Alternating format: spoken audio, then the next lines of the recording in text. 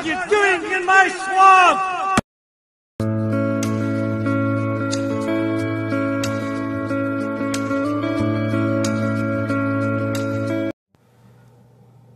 Hello everybody, this is Ogreboy and I'm going to be doing my ranking for all 10 movies of Disney Animation Studios' revival era. Now, um, these are the movies from 2009 to 2019 um, that were released through that time period that were uh, critical and commercial successes and stuff. And this is kind of a lot like the modern day Renaissance era in a lot of ways um, and everything. Uh, but I and I know some people say that Disney is still in their revival era because none of their stuff has really not at least done good with critics at least and stuff. But I, I do feel like we are shifting into a new dark age for Disney Animation Studios. So pretty much everything that has came out since Frozen 2 I'm counting as a new Dark Age movie, and that'll be next week's list. Um, and everything. So uh, I'm to go ahead and get going on this one. So coming in at number 10 is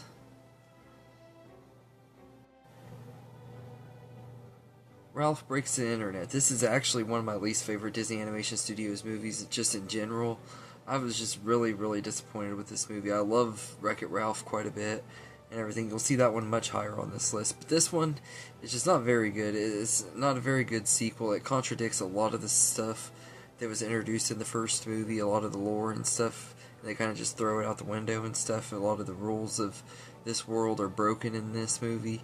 So I, am not very big on this one. Um, and everything. The the a lot of the humor and st- internet humor and stuff that they have in this movie was dated by the time the movie even came out. Uh, and the the nostalgia baiting with all the Disney princesses and stuff was okay. It wasn't anything special. This movie could have been so much better than it was.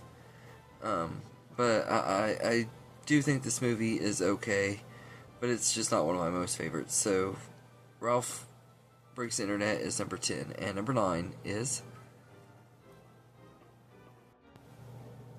Big Hero 6. Now, this is one of those movies that I know a lot of people say is very underrated because it was overshadowed by Frozen. And uh, I could get that. Uh, it is very overshadowed by Frozen, and it also came out like right before Zootopia, so it was kind of wedged between two of the biggest movies of this era. So I I definitely do understand why people didn't like this one as or didn't give this one as much credit and stuff. But that being said, I, I also don't feel like it's one of Disney's best. It borrows a lot from other animated movies like The Iron Giant and a lot of other movies that I felt like it was really similar to, the kind of The Incredibles and a bunch of different things. It wasn't anything super new. The, the twist villain was okay with Callahan. I think he was a pretty cool villain, had decent motivations and stuff. Don't really think he's fully a bad guy. But um, I, I, did like that though, I, and I thought Baymax is an adorable character. Couldn't help but love him and stuff. But Big Hero Six, it's not one of those movies that I'm a huge, huge fan of, but I think it's okay. So it's number nine, and number eight is.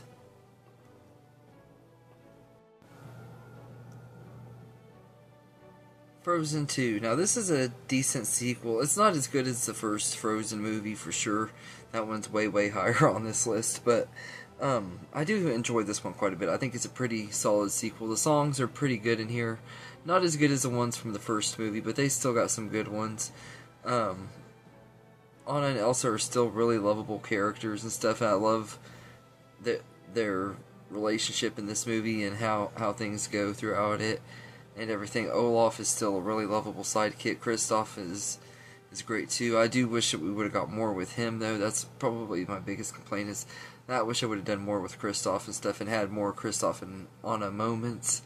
But aside from that, I, I really enjoyed this one and I think it's a pretty decent sequel and everything. It, it's not quite as good as the first one, but it's still a pretty solid movie and everything. And from this one up are all movies that I really love. Like the, the revival era is a lot like the Renaissance era, where pretty much most of the movies I really love. There's only like maybe a couple of them that I wouldn't say are are movies that I just absolutely love and everything. But even those, I think, except for Ralph Breaks Internet, are pretty good. I, I think Big Hero Six is still a really good movie and everything. But I think that everything above that one and this one are even better. So Um, but yeah, Frozen 2 is number 8. And number 7 is.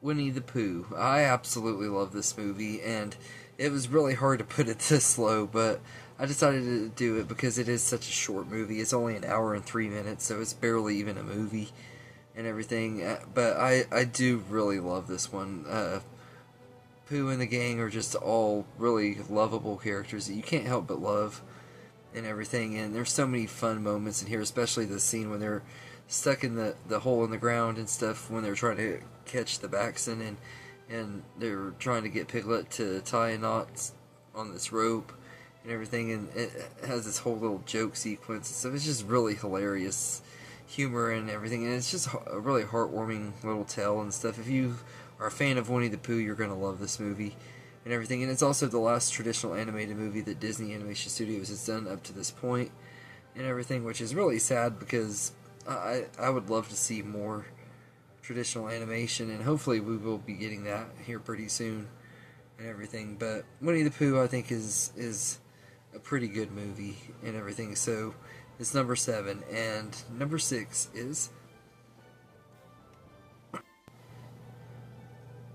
Zootopia. I really enjoy this movie too. I think it's a really a fun time, and I love Judy Hopps and uh, uh, Nick Wilde. I think they're both really likable main characters and stuff. Their their dynamic is really well written and stuff, and their friendship is really well done and everything. I, I really enjoyed that. I, I think the the social commentary that this movie has is pretty good too. It's kind of reminiscent of movies like The Land Before Time that kind of had that too, and everything. I thought that was kind of cool, um, and everything. And it fit fit the the the tone really well. And this movie is is pretty good. Like I said, the, the animation is pretty gorgeous in here, um, and it's got some great humorous moments and a lot of heart and everything. And I absolutely love the stuff with the sloths at the DMV. Just absolutely hilarious stuff and everything. But it, it has some really good moments too, and it, it's a really good movie. So.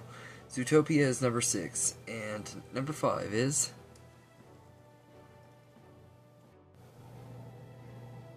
Tangled. Um, this movie is really, really great. Um, it's a really beautiful animated movie with a wonderful princess. Uh, she's one of my favorite Disney princesses. In fact, when this movie came out, I would say she was just an absolute lovable character, and I, I, I fell in love with Rapunzel. Not like literally, but like as a I became obsessed with her because she was a really cool character, and, and uh, Flynn Rider is really great too, and everything. I love the music in here, especially.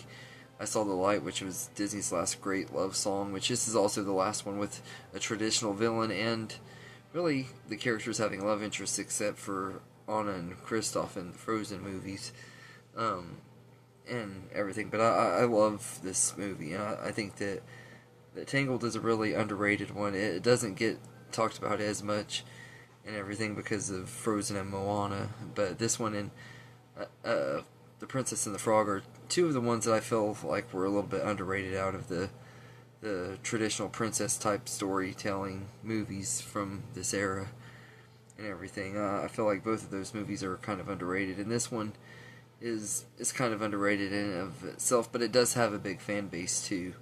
So, uh, Tangled is number five, and number four is Wreck It Ralph. Now, if Ralph Breaks the Internet didn't exist, I probably would have this a little bit higher, but that movie has taken down my fandom of this movie a little bit because which is really sad because I really love this movie. When I first saw it, I was like obsessed with it. Like as a Disney fan, I was like this is awesome. This is a great story, awesome characters that I absolutely love. I want more. I want more. And then we get Ralph Breaks the Internet and totally just ruins the whole franchise for me.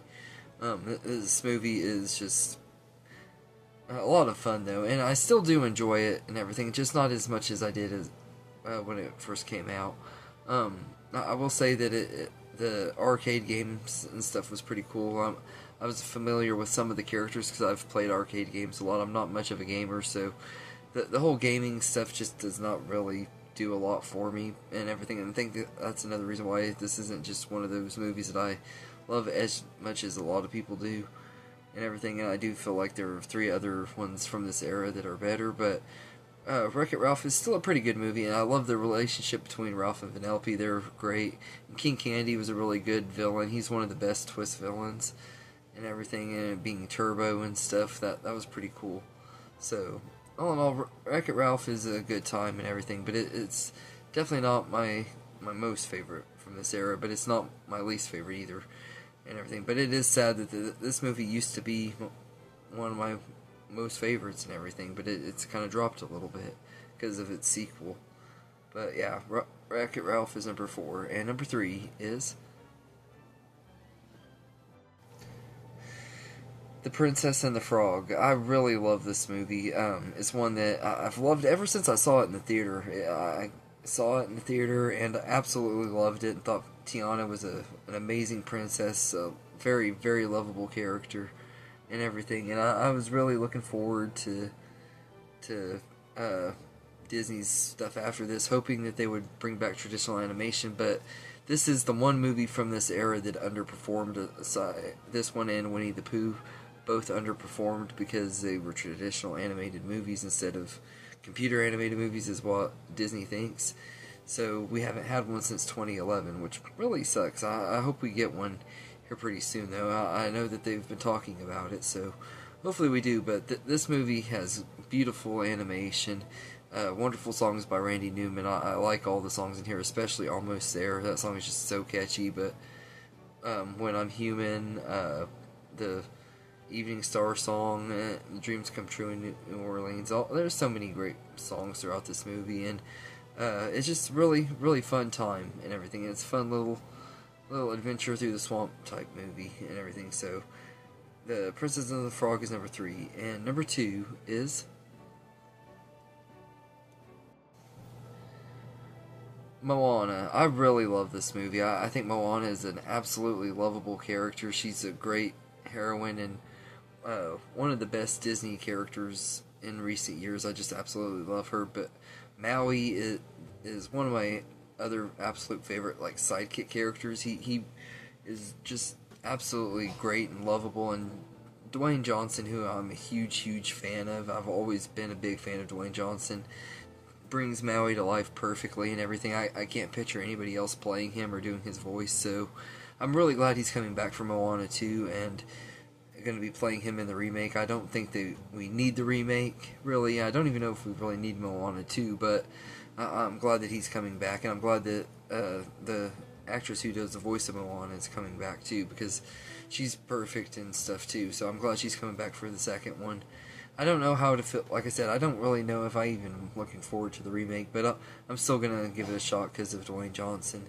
But this movie is a lot of fun, and I, I love the songs in here. Um, How Far I'll Go is really good I Want song. I really like uh, uh, Shiny. It's a pretty fun song and everything. But my favorite song in the whole movie is You're Welcome by Maui. It, it just absolutely catchy song and everything. And plus, like I said, I'm just a big fan of The Rock. Um, so, yeah, um, Moana is number two. And my number one favorite movie of the Disney revival era is probably to nobody's surprise Frozen. Now, this movie I absolutely love. It's been one of my favorites ever since it first came out. It was an instant classic to me. I absolutely love the, the characters in here, Anna, and especially, yeah, especially Anna, and I loved Elsa quite a bit. Uh, Anna's my favorite, though, out of the two. Um, but I, I love both of them. Kristoff and Sven and Olaf are all lovable characters, too. Hans is a pretty decent villain. He he doesn't have he's not that threatening or anything, but he's he's one of those villains that you, you, you love to hate because Anna's just such a sweet and lovable character, and the way he did her was just so dirty and everything. But I, I think that he's a memorable villain because of that, and. Um, the songs in here are just absolutely amazing. Some of the best Disney songs in recent years, especially Let It Go. But I love do you want to build a snowman and for the first time in forever and fixer upper they're all really great songs and everything I think the animation is really gorgeous and Frozen is just an absolute masterpiece and it's one of my favorite Disney movies of all time and everything, and it'll be really high on my ranking in a couple weeks when I rank all 62 Disney Animation Studios movies. But I absolutely love this movie and everything. So, anyway, let me know in the comments what your favorite movies from this era are. If you don't want to do a ranking, just tell me your favorite and least favorite, but feel free to do a ranking too if you want to. I'd love to see your rankings, and I hope you enjoyed this video, and have a good day, everybody.